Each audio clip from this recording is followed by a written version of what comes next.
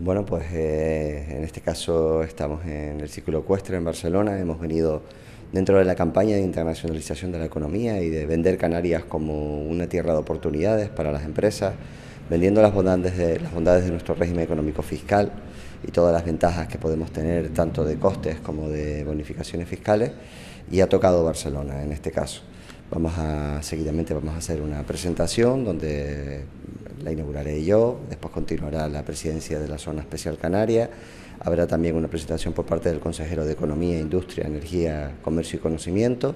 y luego se generará una mesa de debate donde también presentaremos proyectos de éxito que ya se han instalado en las islas. En definitiva, la voluntad de este tipo de eventos no es sino poder eh, mostrar a Canarias como esa tierra de oportunidades donde todas las empresas pueden generarse oportunidades y, y beneficiarse de las ventajas que tenemos de nuestra condición de región ultraperiférica.